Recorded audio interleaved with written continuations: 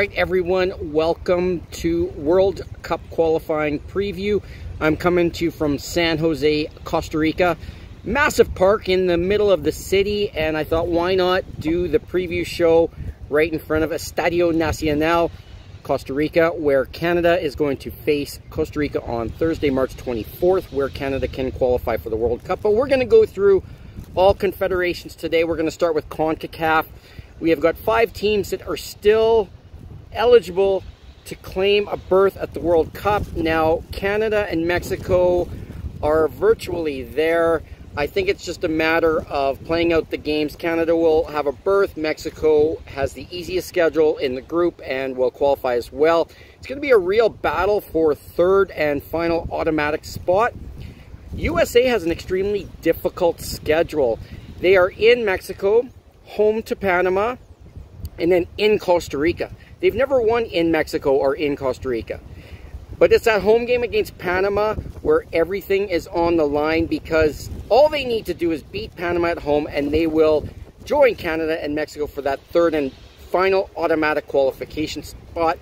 Costa Rica and Panama will fight it out for number three. I just think that Costa Rica is on the downward spiral. They're a little bit older and their best time is behind them. I think they need to um, take a look at their future, get some new young blood in there, and kind of start over a little bit.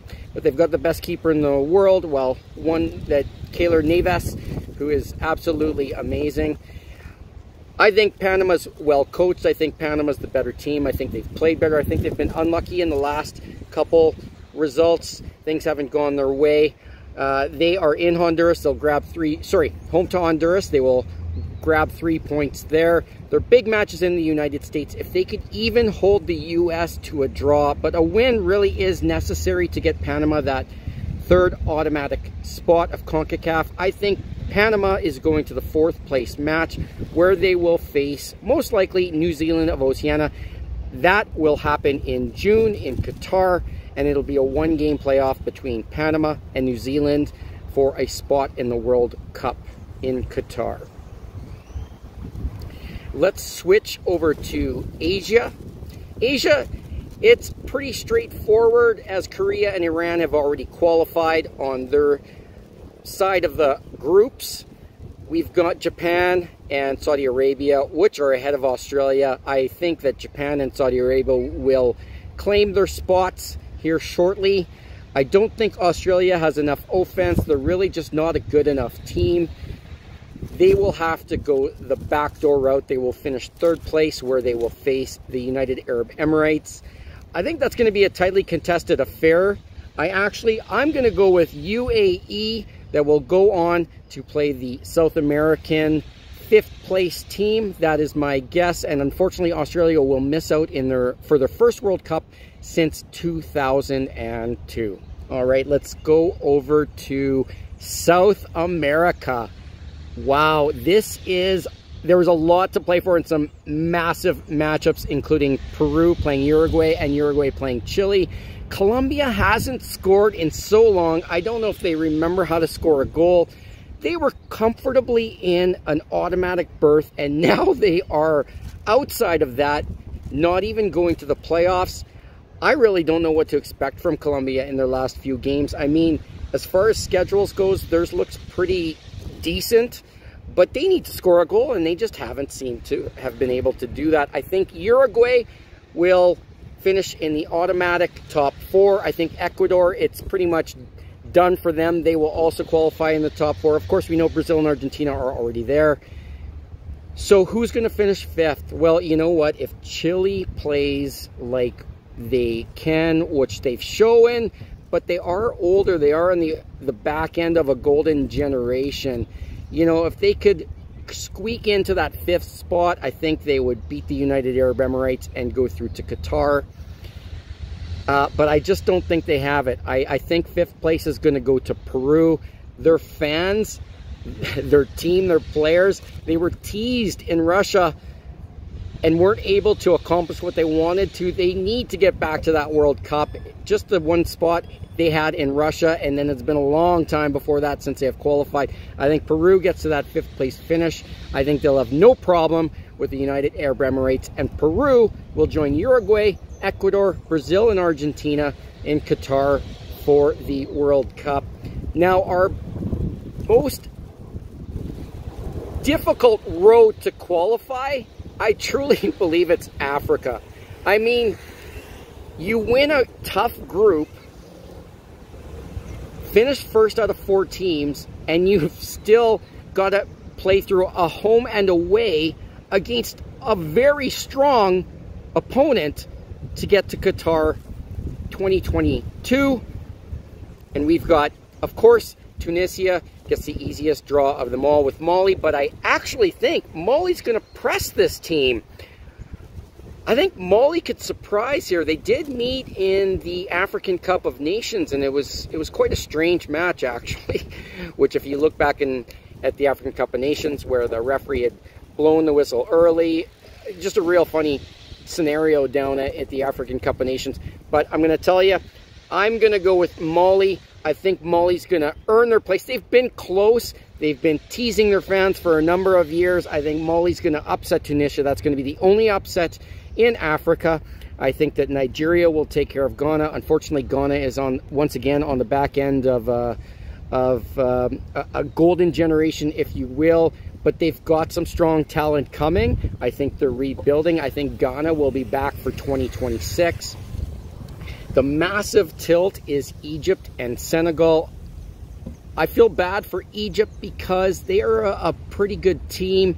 They finally got back to the World Cup after a lot of years of absence. They were blasted in 1990 and then Mo Salah got them to 2018. Unfortunately, I think they're running into the best team in Africa right now, which is Senegal. Those are some big, fast, athletic boys. I think Senegal is the best team in Africa, and I think Senegal is going to take care of Egypt, and they could just jump up into pot two in the rankings, and they could do some damage in Qatar. I'm thinking if Senegal gets a decent little group, I think they'll go to the round of 16 and possibly, depending on that opponent they play in the round of 16, they could be looking at a, at a quarterfinal appearance. Senegal is, is a great team. Morocco just does not allow anyone to score. I think they're going to do that quite well again in their matchup against Congo. I think they've got a great draw against Congo. Congo DR will, will not create a problem uh, for Morocco. The Moroccans will be back. They've got unfinished business at the World Cup. They had an unfortunate own goal in the dying moments against Iran.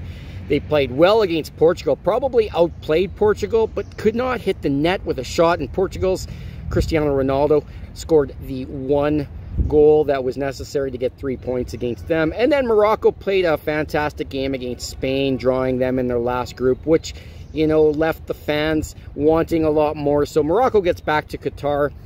Last but not least, in Africa, we've got perennial finalists, Cameroon, who have been to so many World Cups.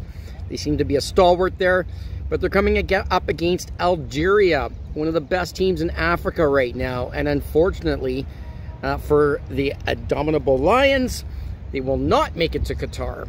It'll be Algeria. They are too strong. They are a good side and the Middle East will absolutely erupt when the Algerians qualify for Qatar 2022. There will be massive amounts of fans traveling to Qatar to support the Algerians. Let's go over to Europe. Now, Ukraine, Scotland, which are two of my heritage teams, family came from Ukraine, I've got Scottish roots, so it's pretty neat that that those two will play each other. But that's been postponed till June, so we've got Wales versus Austria.